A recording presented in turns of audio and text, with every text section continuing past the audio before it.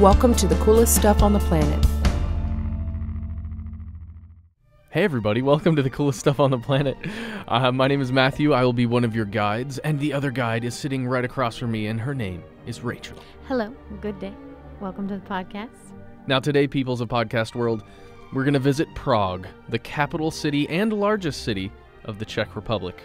We thought we would sort of break it down into some smaller pieces so it'd be more manageable, like we tend to do. Mm-hmm.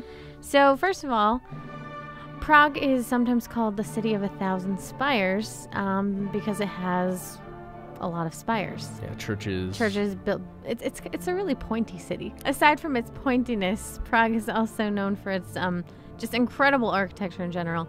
But we'll get to that more in a more in a different podcast. Mm-hmm. But first, let's take a little stroll, Matt, shall we, across Prague's most iconic bridge. Absolutely. This, ladies and gentlemen, is the Charles Bridge. It stretches 516 meters across the Vltava River, and it functions as the primary pedestrian route between the Old Town Square, that's on the east side of, of the bridge, and the Lesser Town, which is on the west side. Now, the Charles Bridge is most commonly visited for two reasons. The first is the amazing view. Check this out. If you're standing in the center of the bridge, let's say, you can see almost all of Prague, and with the water flowing beneath you from the river, it is most excellent. Now, the other reason is because of all these leering statues that are staring at me right now that I feel very uncomfortable about. These virtual statues. yeah. The Charles Bridge is the oldest bridge in the city of Prague, and it is lined with statues of saints. Mhm. And Matt, you might have a reason to be a little leery and afraid because Prague is one of those cities that has a very um, ghostly reputation. Oh. If you take a ghost tour of the city, it's one of the areas where you'll stop.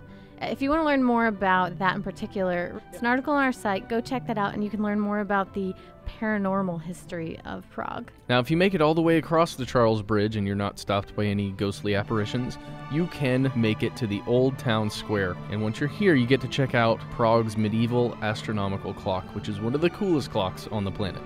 So it's a 15th century clock, and it's just amazing, especially considering how long it's held up.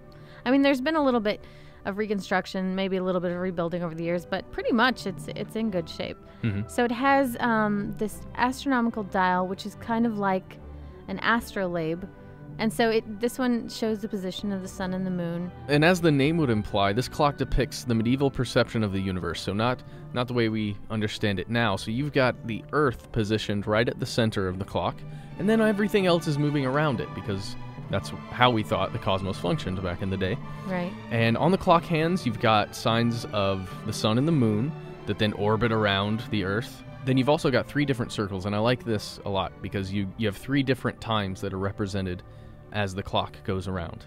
So you've got on the outer circle the old Czech time, and the inner circle you've got Babylonian time. Also, if you want to know the regular time, the way you would learn it, uh, say here, in the center of those two dials, you've got the Central European time. Okay, so it does measure current actual time. Yeah, exactly. That's the that's the one you can see here in the Roman numerals. This one is kind of off the beaten path. It's pretty well known, but it's not necessarily, not all tourists, I guess, would know about it.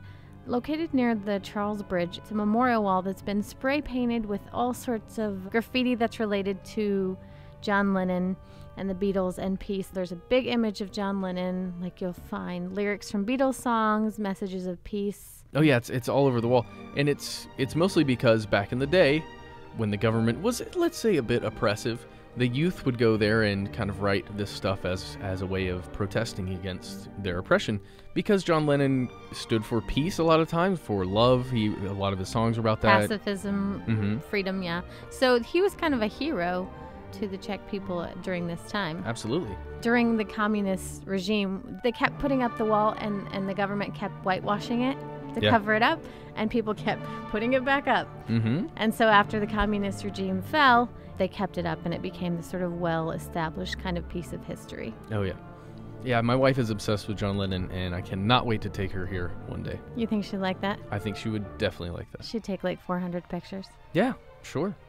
So that is a little bitty slice of Prague. We hope you've enjoyed it, and that's really just a taste. Um, we will definitely be back later to talk more about the history and the architecture and the pretty much awesomeness of this city. Yes, there will be a whole nother episode. Ladies and gentlemen, take care, good night, and remember, war is over if you want it. For more on this and thousands of other topics, visit howstuffworks.com and let us know what you think.